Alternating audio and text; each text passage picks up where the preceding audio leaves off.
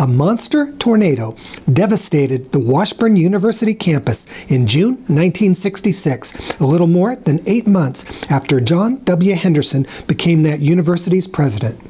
This is Tim Hrenchir, the history guy for CJ Online, talking about how Washburn's successful recovery from that tornado was led by Henderson, who then announced 40 years ago this week, on December 10, 1980, that he would be leaving office. Henderson, a native of Pennsylvania and a Marine Corps veteran of World War II, was 43 years old when he became Washburn's president in 1965.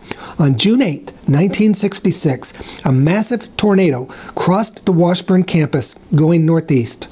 The twister destroyed 600 trees on campus, demolished five major buildings, and damaged all other structures on the Washburn campus. No one was killed at Washburn, though 16 people died throughout Topeka. The Washburn community then got to work cleaning up the mess. Henderson became known as Washburn's brick and mortar president as the university, under his direction, set up mobile classrooms, replanted trees, and constructed new buildings.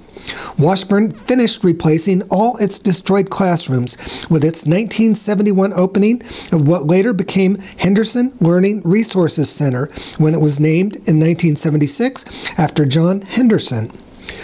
Henderson's presidency was also a time of increased dissent against the establishment.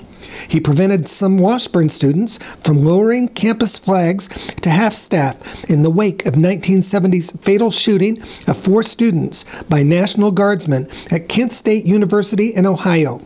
Henderson said Washburn's flags would not be lowered unless the proper authorities approved that. Washburn's student council subsequently voted to lower the university flag, though state and national flags remained at full staff. Henderson left office in 1981. In the years since, Washburn has continued to build upon the improvements made during his time as president. Henderson died at age 76 in 1999. This is Tim Hrenchir, the history guy for CJ Online.